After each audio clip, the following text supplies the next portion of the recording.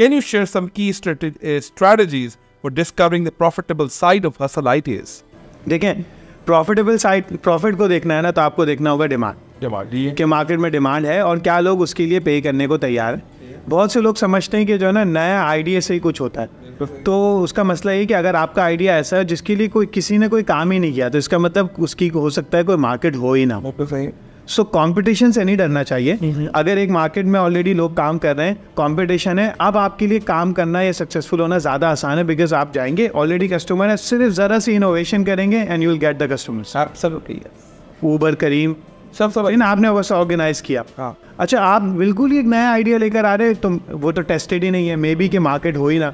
और आप अपना बहुत सारा टाइम और पैसा उस पर लगा दे। लगा दें। बिल्कुल सही। सो नया idea is not a big big thing market है या नहीं इट इज़ अ मेन की की फैक्टर भले जितने कॉम्पिटिटर्स हैं। अब आप उस मार्केट को देखें कि मैं कैसे इस मार्केट को इनोवेट कर सकता हूँ थोड़ा बेहतर? या इसको मोस्ट एफिशिएंट बना सकता हूँ या रीजनेबल बना दूँ लोग आसानी से इस्तेमाल करें लोगों को मैं कन्वीनियंस दे दूँ लोगों को और आसानी पैदा कर दूँ इस तरह से। ठीक है? तो मार्केट डिमांड अगर आपको नज़र आ गई तो बहुत आसानी से आप पैसे जो है ना वो बना लेंगे प्रॉफिट की तरफ़ चले जाएँगे इंस्टेंटली